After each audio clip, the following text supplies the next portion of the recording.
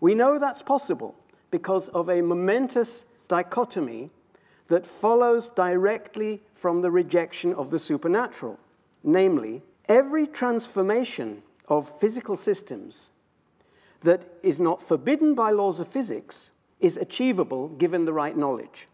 And hence, the rational attitude to the future is what I call optimism, the principle of optimism, namely that all evils are caused by lack of knowledge. That isn't a prophecy of success.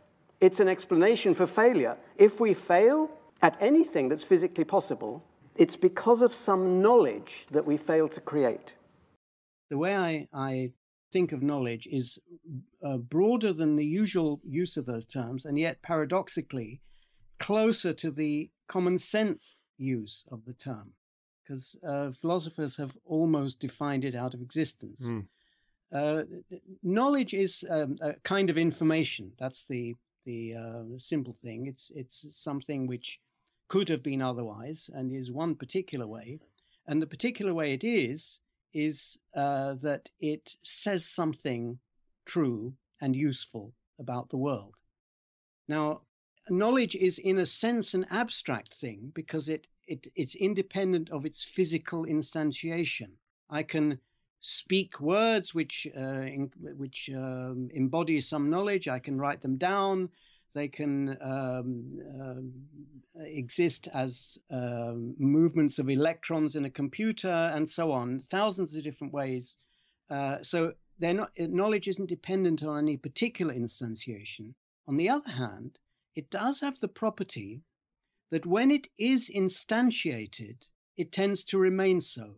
So the difference between, let's say, a piece of uh, speculation by a scientist, which he writes down and then that's that turns out to be a genuine piece of knowledge that will be the piece of paper that he does not throw in the waste paper basket mm. and that's the piece that will be published and that's the piece which, which, which will be studied by other scientists and so on so it is a piece of information that has the property of keeping itself physically instantiated causing itself to be physically instantiated once it already is once you think of knowledge that way, you realize that, for example, the pattern of base pairs in in the DNA of a gene also constitute knowledge, mm. And uh, that in turn connects with Karl Popper's concept of knowledge, which is knowledge that doesn't have to have a knowing subject. It can exist in books abstractly, or it can exist in the mind, or people can have knowledge that they don't even know they have. The eye only detects light, which we don't perceive. Brains only detect nerve impulses.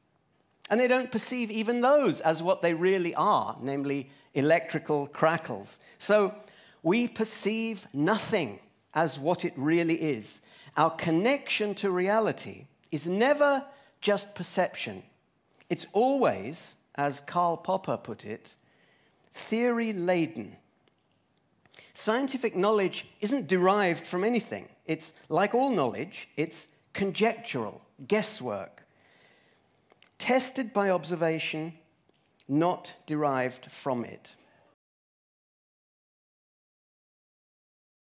I think that all progress, uh, historically and today, comes from the quest for good explanations. That is, explanations that are hard to vary without, uh, while still um, accounting for what they purport to account for.